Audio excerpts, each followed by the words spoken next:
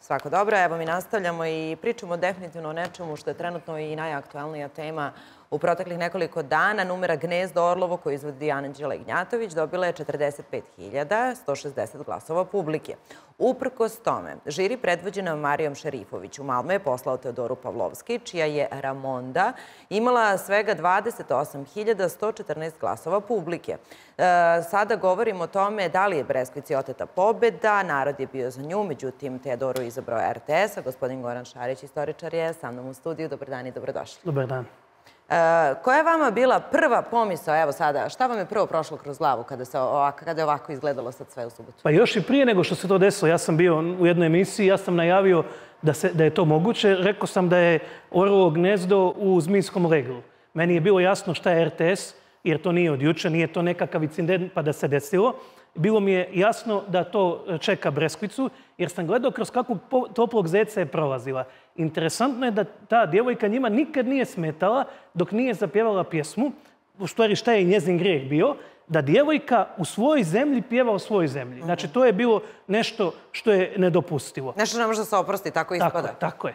I onda je e, taj žiri, e, što ste rekli, predvođen Marijom Šerifović. Ok, Marija Šerifović je najboljih vokala na ovim prostorima, jedna najboljih zabavnih pevačica na ovim prostorima, ali ja ću vas podsjetiti da je Emilija Kokić 89. pobjedila na Euroviziji. Pa je niko u Hrvatskoj ne zove e, kao nekakav autoritet koji docira hrvatskom narodu. Znači svaka čast na njoj neznom mišljenju. Međutim, ona je tu još i manje sporna od ove druge Sajsi. Pazite, ja sam, nisam nikad za nju čuo, i onda ono? Ona je dala nula poena, je li tako? Ona je dala nula poena, ona je u stvari presudno mhm. uticala. E, I ja sam onda ukucao malo te tekstove. To je toliko ogavno. A koja je Nemam drugu riječ. Znači, te tekstove neka Olivera Kovačević pjeva kad bude išla u Švedsku. Mhm. Nek to zapjeva u avionu. Znači, takve tekstove, nisam u životu čuo.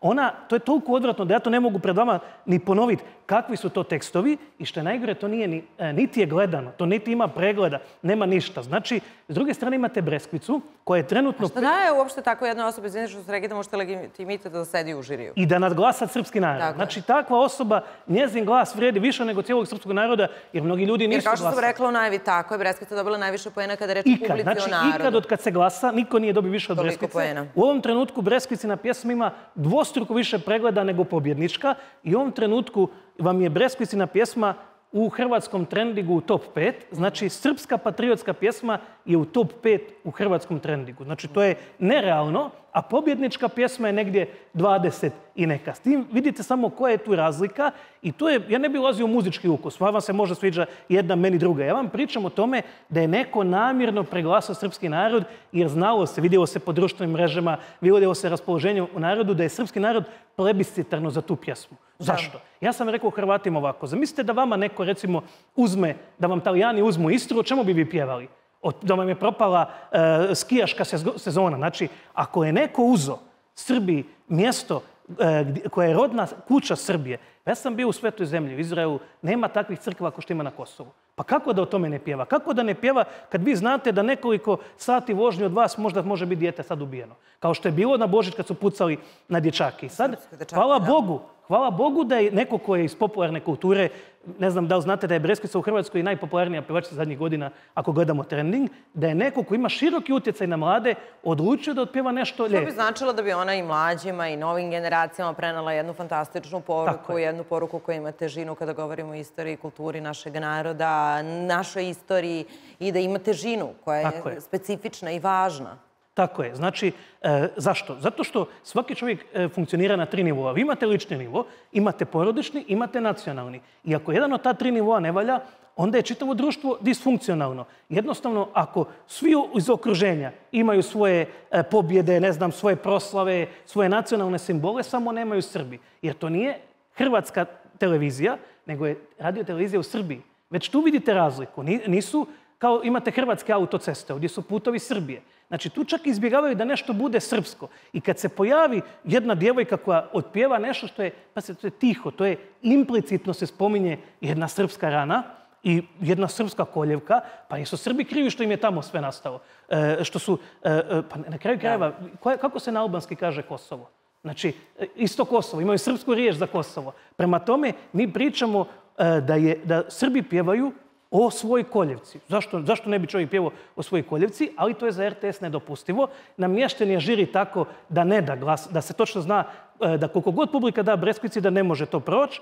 I e, to nije prvi put, ja vam kažem. Znači, to je nešto što RTS radi kontinuirano. To je nešto što Filozofski fakultet, što SANU daje, radi kontinuirano. Da imate predsjednika Akademije bivše koji kaže Kosovo nije Srbija, mrtav hladan, on to kaže. A ja dolazim iz Hrvatske gdje je Akademija i desnija nego narod. Znači, e, nekako ima nacionalističke tendencije više ih je među akademicima nego među običnim narodom. Znači, gledam to, pa ne vjerujem šta se dešava. Ja sam se iznervirao, kao i vaš, e, kao i vaš direktor, vlasnik, ovaj, ja sam se isto tako iznervirao. Glavni urednik. Glavni urednik. Samo, jedna stvar, ovaj, e, znači, meni je više smetalo mumljanje. On kaže, nja, nja, nije bilo je mu, mu, mu. Ali dobro, možda je to umjetnost, ja se ne miješam. Neko ko je završio Kalifornija Berkeley, neko ko ima tako popularnu pjesmu, svaka čast. Nije ta djevojka kriva.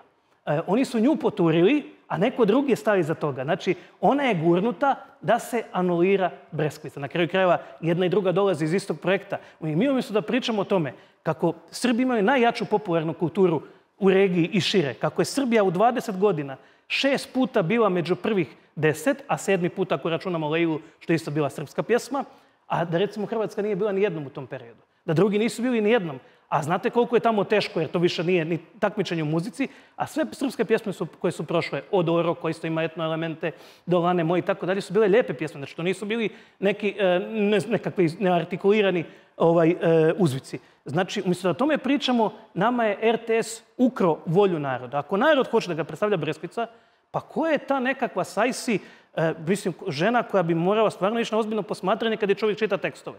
A što je najgore, niti valjaju ti tekstovi, niti valja ta muzika i onda on, njezin glas više vredi, onda nema potrebe da publika glasa. Jer ako ništa što publika uradi nema veze, onda zašto su uopće dali da publika glasa? Znači onda e, ne kažu, mi imamo ovdje pet ljudi, nek dovedu sljedeći put e, ove, mogu i ove drugosrbijance s nove, e, s nove SN1, nek oni izaberu. Evo, nek pošalju Thompsona, nek pošalju Seumu Bajrami. A kako će svi ovi drugi da reaguju? Evo što vi kažete i sad kada spominjete upravo i srbomrsce, da li će oni da jedva dočekaju ovakve stvari? Pa naravno, pa vidite kakvi su to tekstovi. Ja gledam, to je nenormalno, kaže, kad saznate šta ima Breskvice tetovirano, rastrgnut ćete orlovo gnjezdo. Ko prvo nijedan Srbi neće rastrgnuti orlovo gnjezdo, šta ima tetovirano? Mislite da ima veliku Albaniju, ima dva roga, djevojka, bik. Znači tu se tražilo bilo šta da je nađu. Pa mi smo gledali šta su radili Pavlini. Znači šta su radili Pavlini i kroz to što nije njima smetala Breskvica. Njima je smetalo što Breskvica pjeva pjesmu koja ima, e, koja ima poruku koja nije antisrpska. Znači, ja gledam, evo, ovaj N1 Nova S, to je vjerni razlikujem to NDH1 Nova SS, i ova kaže, došla sam tamo, u, ne znam, policiju, vidjela sliku Ratka Mladića, kaže, uplašila se. Rekao je Stina Serorić da se plašiš Ratka Mladića. Znači, ona se uplašila i kaže, došla jer joj prijete. Znači, ona pljuje srpsku državu, onda traži zaštitu od države. Pa ne, ne možeš predstavljati državu koju mrziš. Znači, ako ti ne voliš tu državu, Šta, zašto onda uopće tražiš da je predstavljaš? To je e, taj RTS, onda nek ne šalje nikog. Nek, nek, nek se RTS, nek bude podružnica Hrvatske televizije ili ovih Montenegrina doli i tako dalje. Što mislite, evo sad, pošto se realno tumači kao skandal, zato što se priča sad ovako naširoko o svemu ovome, da li će i da li uopšte postoji neka šansa da se nešto promeni sada, da, da, urodi plodom sve ovo, zato što se realno digao naš narod na neki način na noge kad je ova tema u pitanju? Vi imate taj Vučić opor u medijima, e, tim antisrpskim, koji mnogi od njih ne plaćaju porez u Srbiji, znači i, direktno kradu od srpskog naroda i onda kad vi kažete nešto protiv nekog drugog srbijanca, makar to bilo utemeljeno, nedopustivo javnosti u šoku, koja je javnost? Pet novinara, 20 istih, uvijek istih ljudi, nevladinih organizacija. I sad je dobro da vi i neki drugi su pokrenuli ovo pitanje i da se vidi da postoji jedna druga javnost u Srbiji koja je puno brojnija, ali se njezin glas toliko ne čuje. Mhm. Međutim, nema normalnog čovjeka koji nije bio iznerviran u Srbiji radi ovog što se desilo. Čak možda ako nije ta pjesma bila njegov favorit. Ali je nemoguće da dvoje, troje, četvero ljudi preglasa cijeli narod, pogotovo što čovjek koji je najveće muzičko ime u tom žiriju, Dejan Petrović, on je glasao isto kao srpski narod. Znači, neko da kaže da on nije struka, da, da. se on ne razumije u muziku. Da.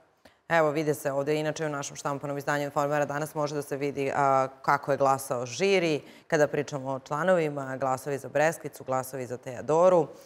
Inače, milion 645 ljudi je gledalo finale pesme za Euroviziju na RTS-u. Da li je i ovaj njen styling, pošto sad gledamo sve vreme snimke, da li mi to možda paralo oči?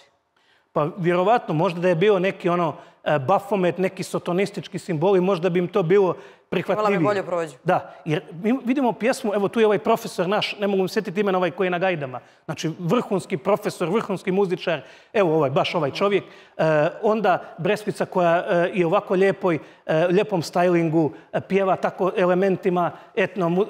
Znate šta je srpska? Meni kaže jedan čovjek, harmonikaš iz Hrvatske, da ne postoji takva izvorna muzika na svijetu kao što je srpska. Znači, on je, ali to je čovjek rekao Hrvat, znači to kad to čujete, e, ja sam o tome i pisao, to je nešto što meni liči kao sakralna, sveta muzika. I sad imamo jednu pjesmu koja je u tom fonu. Možda bi se ona više svidjela. Nešto čemu bi trebalo da se ponosimo i da e, ističemo. Ovako, jer uvijek kažu ovi, e, znači budi autentičan, budi svoj. Pa gdje može autentičniji od ovog? Tako je. Znači, jer ovo tu, ova druga pjesma, uz dužno poštovanje, opet ti kaže, nisam muzički stručnjak, ipak je to reciklaža već viđenog, imitiranje zapadnjačkih trendova. Ono, ovo je bilo čisto srpsko, pa ako prođe, prođe. Tako je. Hvala vam najlepše na ovom razgovoru hvala, što ste bili sagovornika naše emisije.